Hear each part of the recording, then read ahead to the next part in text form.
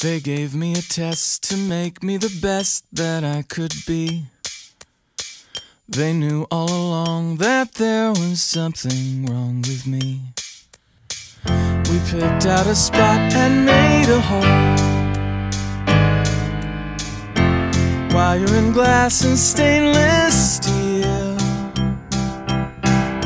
Now I can imagine how I'd feel.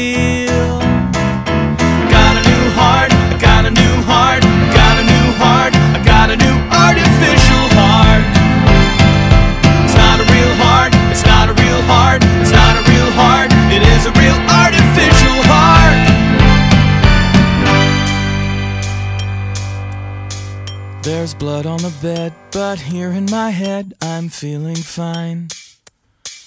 It's easy to sleep when I'm not buzzing all the time. So funny the way I was before. Once I was blind, but now I see.